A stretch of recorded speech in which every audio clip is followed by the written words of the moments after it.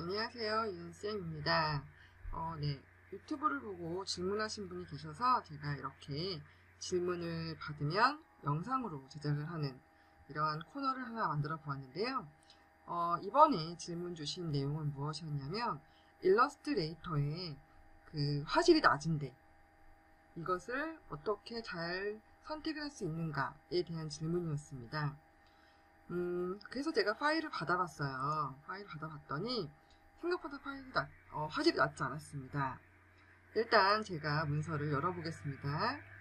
파일에 place로 가져오시고요. 예, 이 파일이었어요. 어, 그냥 가져오셔도 괜찮고요. 템플릿으로 가져오셔도 되는데 저는 두개 다 해볼 거예요. 근데 일단은 그냥 템플릿 아니고 그냥 가져와 볼게요. 100%로 보고 있는데 이 정도면 사실 화질이 나쁘지 않거든요. 어, 이 상태에서 제가 첫 번째 방법은 이런 거예요. 어떻을지 모르기 때문에 일단 쉽게 캐릭터를 선택하는 방법을 좀 가져오려고 했는데 어, 여기 보시면 상단에 이미지, JPG 이미지나 PNG 이미지나 어쨌든 이미지를 외부에서 가져오시면 상단에 image trace가 뜹니다. 한글로도 image trace라고 뜰 거예요. 클릭을 한번 하세요. image trace가 뭐냐면 비트맵을 벡터화 시켜주는 거예요. 비트맵 이미지라는 것은 여러분 웹상에 있는 보통의 그런 그 픽셀 형태로 되어 있는 이미지를 비트맵이라고 이야기를 하고요. 벡터, 벡터 같은 경우는 일러스트레이터로 그린 크기를 변경해도 예, 화질이 떨어지지 않는 그런 파일을 벡터 파일이라고 이야기합니다. 아무것도 만지지 않았을 땐 이러한 설정이 나오게 됩니다. 근데 저 마음에 안 들어요. 그러면 preset에 오셔서 high quality로 한번 와보세요. 조금 시간이 지나간 다음에 이렇게 생겨요. 원본하고 거의 비슷하죠? 16컬러도 한번 해볼까요? 눈, 코, 입이 없었네요. high, high가 조금 더 화질이 괜찮은 것 같습니다. 그럼 이렇게 눈도 생겼고 어, 마음에 들어요. 조금 더 뭐 high가 되고 싶다 그러면 여기 오른쪽에 있는 패널이 있어요. 이 패널에 오셔서 이 칼라의 개수를 조금 더 확 당겨주는 거죠. 그리고 나면 아까보다 조금 더 좋은 화질의 이미지를 얻을 수 있는데 이걸 어떻게 쓰느냐가 또 문제가 되겠죠. 얘를 상단에 있는 expand를 눌러주세요. 보이세요? 마우스 우클릭 하셔서 ungroup 해주시면 지워져요. 지워지고 내가 원하는 애들만 이렇게 남아서 뭐 벡터화가 되어 있는 것을 확인하실 수 있습니다. 근데 사실은 요거는 이렇게 이미 예쁜 벡터 이미지들인 경우에는 예쁘지 않아요. 지금처럼 굳이 왜 그냥 그리면 되지라는 결과가 나오거든요. 뭐 근데 이러한 이미지 말고 예를 들어서 이렇게 이오리 같은 이미지가 있어요. 제가 동일하게 이미지 트레이스를 넣어 보겠습니다. 그래서 뭐 low quality로 한번 해보면 이러한 느낌들 그러니까 일러스, 이미 일러스트로 만들어진 이미지의 경우는 예쁘지 않을지 몰라도 사진 이미지의 경우는 조금 더 좀 팝아트 같은 느낌 만들어낼 수 있거든요. 뭐 이렇게 조금 색다른 느낌 만들어낼 수 있는데 어, 이렇게 색다른 조금 이미지를 사진을 조금 색다른 느낌으로 만들어낼 수 있습니다. 그것이 이제 이미지 트레이스고요. 저희가 지금 할 지금 할 방법은 이제 이미지를 템플릿으로 갖고 오세요. 그러면 뭐가 좋냐면 선택이 되지 않아요. 약간 흐려졌고요. 이 상태에서 이 라쿤 아이를 그리고 싶은 거죠. 그 라쿤을 펜독으로 그리세요. 화질을 이렇게 키우면 아마 이렇게 화질을 키워도 조금 어, 깨끗한 라인이 안 나와서 그렇다는 것 같은데 이거는 그리시면 되는 겁니다. 그냥 이렇게.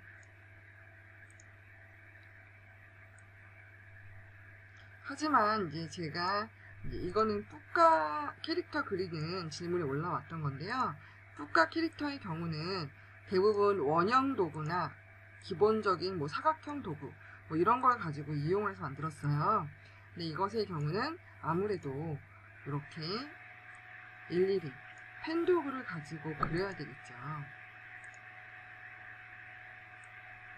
그래서 펜도구의 사용이 조금 익숙하신 분들이 좋을 것 같고요. 이렇게 좀 불확실하게 되어 있는 부분들은 좀 그것을 감안해서 그리는 연습도 좀 하셔야 될 것 같습니다.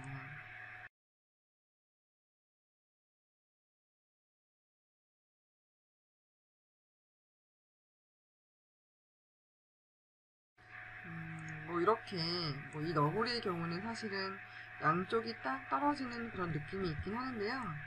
그럴 경우에는 반만 그려서 하시는 분들도 계시고요. 이렇게 하나 그렸죠. 또 안에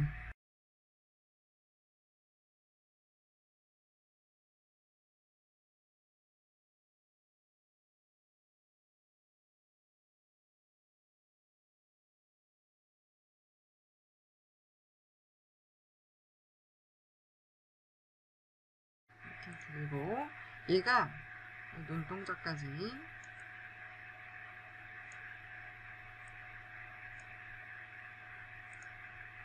이렇게 있으면 두 개가 필요하죠? 그럼 얘를 복사하세요 이쪽으로. rotate tool을 여기 reflect tool을 한번 선택하시고 그냥 가운데쯤을 Alt 클릭 이렇게 하시면 이런 창이 나와요. 그러면 어떤 방법으로 접어줄까? 이런 뜻이에요. 카피 네, 들어왔죠?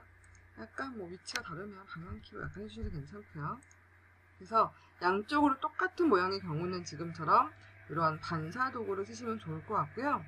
반사 도구는 저 블로그에 보시면 아마 아실 수 있을 것 같습니다.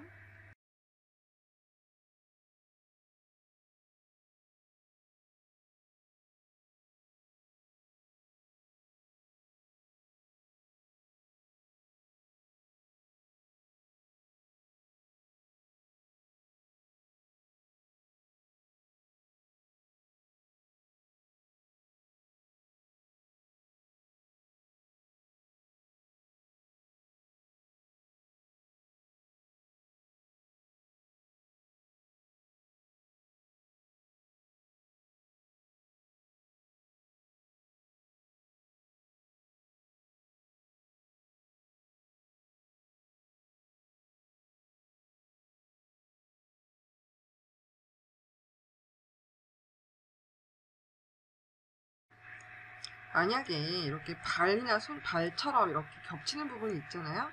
그럼 그 부분은 조금 넉넉하게 그려주시는 게 좋아요. 넉넉하다는 것은 어떤 의미를 하냐면 어차피 겹쳐 있을 거기 때문에 여기를 네, 딱 맞춰서 그 라인에 맞춰서 그려줄 필요 없고요.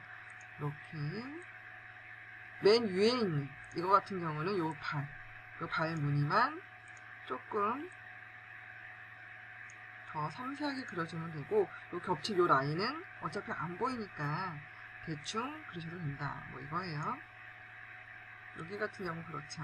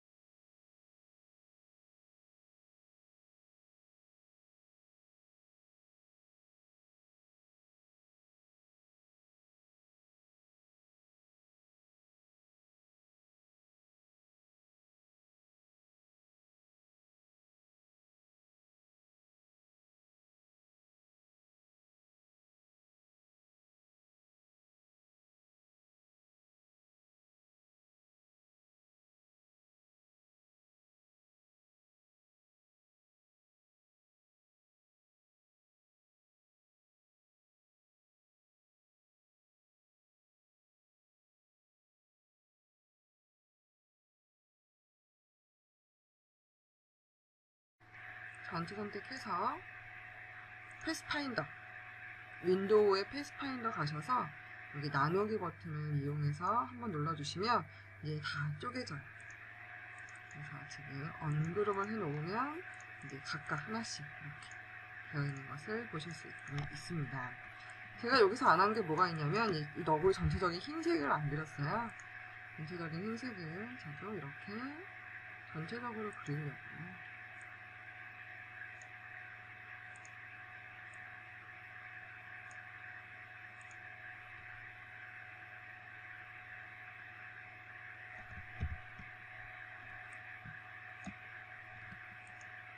여기 귀가 얼굴보다 뒤로 가면 되니까 제가 이렇게 넉넉하게 그린 거예요.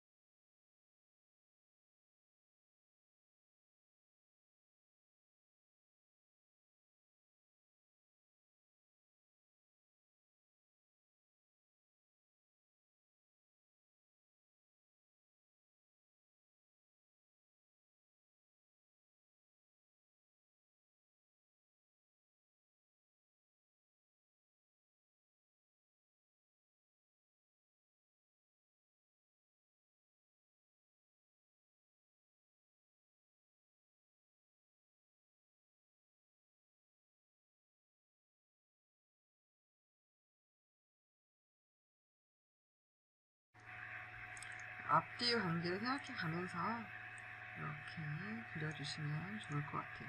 여기만 튀어나오니까 여기만 잘 그리는 거고요. 나머지는 겹쳐 있으니까 어차피 대충 대충 대충 그리고 있는 거예요. 됐어요. 색깔 넣어 볼게요. 선택해서 제가 이렇게 바깥으로 빼보죠.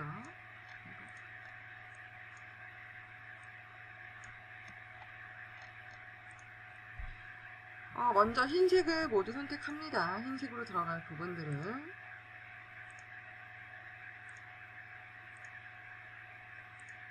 이렇게 되겠죠? 스포이드 도구로 그냥 이렇게 흰색 눌러줄게요. 그리고 완전히 흰색이 아니면 이렇게 눌러서 해주고 그 다음에 나머지 색깔과 똑같죠? 나머지 색깔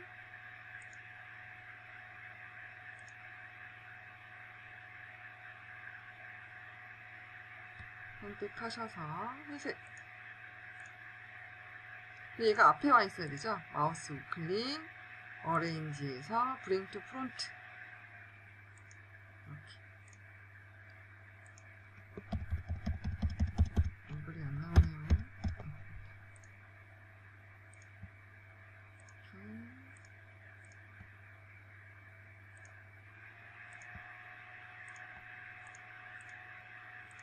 스포이드 도구는 이렇게 내가 선택한 그곳의 색깔을 딱 갖고 와줘요.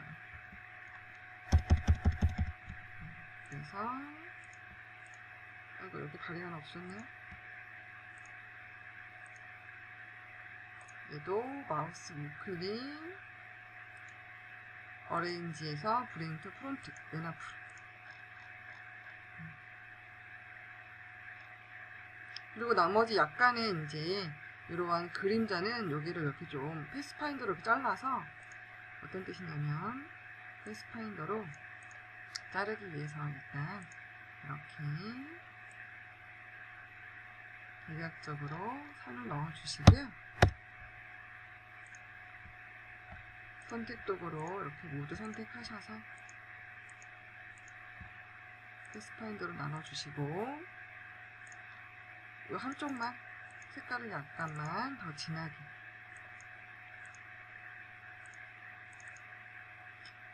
나와볼게 해주시면 되겠죠?